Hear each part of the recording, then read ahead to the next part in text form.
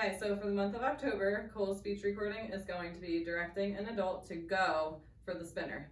So you need the spinner and Cole's device. And on Cole's device, he's gonna go to actions and you'll see the verb go. So Go. go. So to do this activity with Cole, you're gonna have the spinner ready to go. You're just gonna pull the string to activate it. So Cole, what do you want me to do? Go. And you can repeat this as many times as Cole would like to play with the spinner. And if Cole is having difficulty on his device, you can point to the spinner and say, what do you want me to do? You can point to the device for Cole to say go. Go. You can point in the direction of the word go on his device, or you can put your hand underneath Cole's and touch go for him. So he's looking at his hand. It looks like he's the one pushing the button. No.